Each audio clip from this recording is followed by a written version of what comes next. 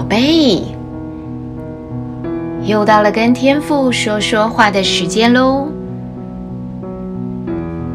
我们先来读圣经，今天继续《使徒行传》四章十八到二十节。于是叫了他们来，禁止他们总不可奉耶稣的名讲论教训人。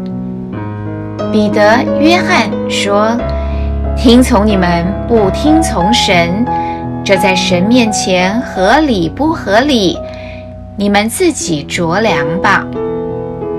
我们所看见、所听见的，不能不说。”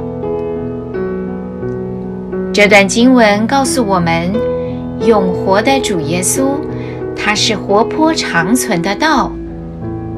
主耶稣的大能激励人坚持去做使人得益处的事，但那些政治和宗教领袖觉得会失去自己的地位和权利，就禁止使徒不可再用耶稣的名发表言论或是教导人。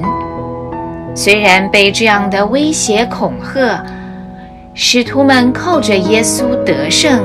做出了勇敢的决定，继续将所看见、所听到的说出来。好，现在就跟着妈妈一起来祷告。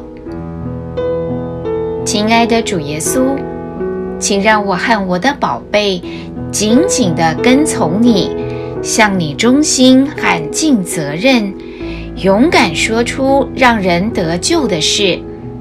帮助我们不惧怕威胁，把你的爱带给每一个人。奉主耶稣的名祷告，阿门。